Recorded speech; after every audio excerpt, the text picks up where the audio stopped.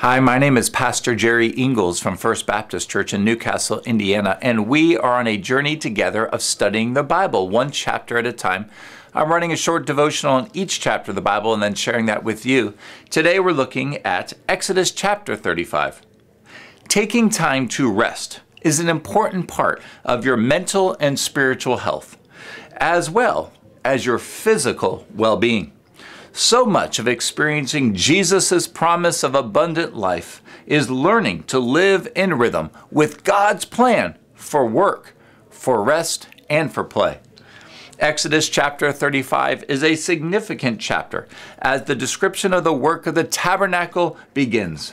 But God wants to make one thing perfectly clear to his people rest is a priority.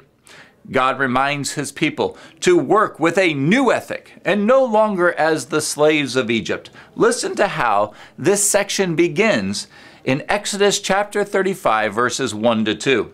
Then Moses assembled all the congregation of the sons of Israel and said to them, These are the things that the Lord has commanded you to do. For six days work may be done, but on the seventh day you shall have a holy day, a Sabbath of complete rest to the Lord. Whoever does any work on it shall be put to death. Wow. It should not surprise us that this is God's first reminder to all the congregation of his people. God leads off with grace because good works are meant to flow out of a relationship with God, not earn favor with God.